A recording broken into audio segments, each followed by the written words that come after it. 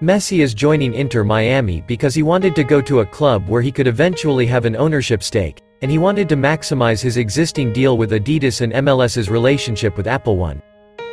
He also wanted to make an early decision over his future and did not want Barcelona to sell players in order to make his return financially viable one. This move gives him the chance to make a real difference in growing the MLS game and bringing popularity to football in America one.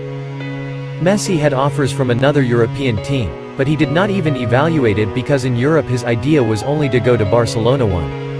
After winning the World Cup and not being able to go to Barca, he had to go to the US league to experience soccer in a different way and enjoy the day-to-day -day one.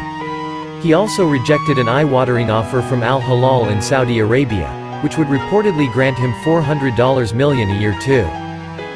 He said he wanted a change of lifestyle and prioritized being with his family more than he did in Paris too. Messi's decision to join Inter Miami was a shock for many fans and pundits, who expected him to stay at PSG or return to Barcelona. However, some people also praised him for taking a bold and adventurous step in his career.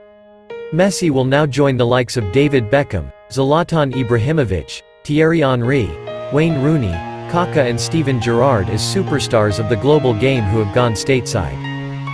By the way, Akin also says he will shine in Inter Miami like other team, playing for Inter Miami would be different, if you are interested.